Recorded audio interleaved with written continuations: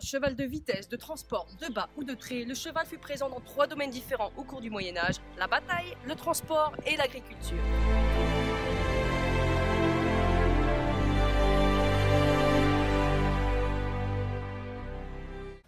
Pour la bataille, le terme destrier vient du vieux français dextre, qui lui-même vient du latin dextera, qui signifie par la droite. Le chevalier, avec son épée, se devait de monter à cheval du côté gauche par la droite. Est également employé le terme de chargeur, et pour la vitesse encore de nos jours, le terme de coursier.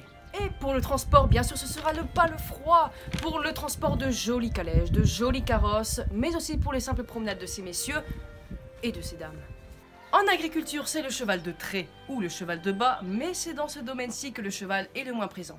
Il est certes reconnu que la taille des chevaux à l'époque était plutôt petite, ces races venant notamment des pays d'Espagne et des pays arabes.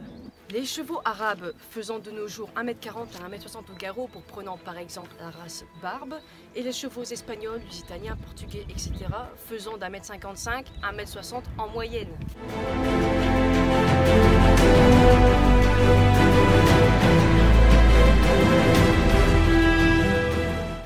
Avait pas que ces chevaux-ci, on y retrouvait également des chevaux qui étaient costauds, qui étaient rustiques, qui étaient bien porteurs, qui faisaient minimum 1m50 au garrot. On parle également de petits chevaux réduits à la catégorie de poney B et C de nos jours, qui correspond à la taille 1m20 à 1m40 au garrot.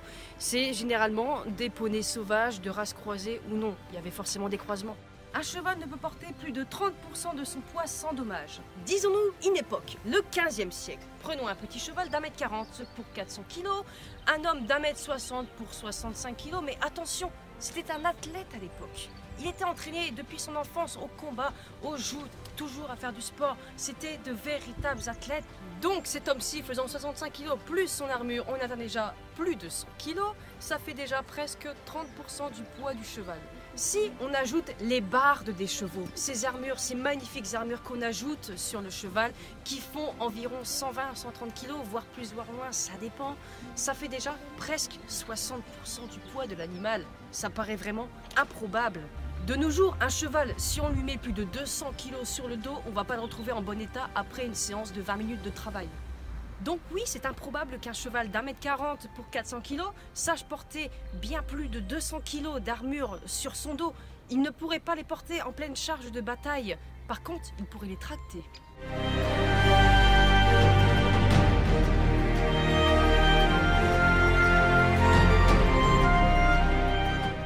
Les bardes des chevaux étaient plus faits pour les tournois de joutes à l'époque. On y retrouve des bardes dans des musées, même parfois dans des châteaux et ils sont généralement exposés sur des chevaux mesurant 1m50 à 1m60 au garrot. Ils ont été expertisés.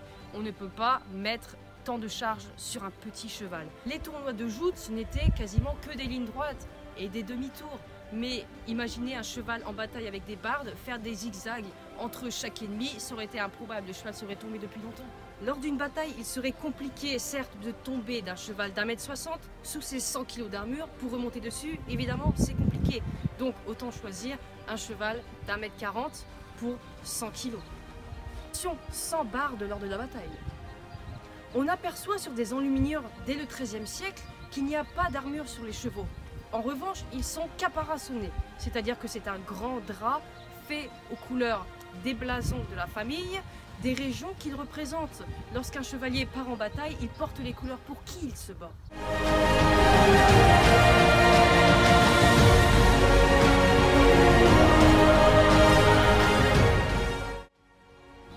Du transport, les hautes classes, les nobles étaient fiers de présenter leurs jolis carrosses aux villageois lorsqu'ils étaient de passage en ville d'une ville à une autre. Les routes étaient très mauvaises jusqu'au XIVe siècle. Ils ont enfin inventé un système de suspension pour les carrosses et les chariots, mais les chevaux se devaient être endurants, costauds et surtout braves.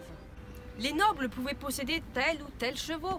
Ils en avaient pour la guerre, pour la chasse, pour la promenade, pour le transport.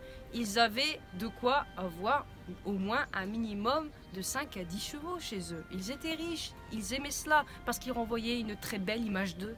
Pour les hommes d'église, c'était l'âne qui était utilisé, notamment pour aller en pèlerinage. Pour le domaine de l'agriculture, les riches laboureurs possédaient des chevaux en plus de leurs bœufs pour aider à la culture. Les chevaux savaient tracter les charrues à roues, ce que les bœufs ne pouvaient pas faire. Ils aidaient également à tourner les roues des moulins. La possession d'un cheval devient plus facile à partir du XIe siècle, les moyens et les droits étant plus ouverts. Dans le domaine de l'agriculture, le cheval est bien plus familial que dans le domaine de la guerre ou du transport. Il était entouré de la famille du laboureur qu'il avait. Donc c'était un cheval qui était plus aimé et surtout un peu plus docile, car les chevaux de bataille étaient surtout faits pour mordre et pour taper. En bref, l'utilisation du cheval était précieux dans le Moyen Âge. Que ce soit pour la bataille, il aidait son chevalier à combattre les ennemis.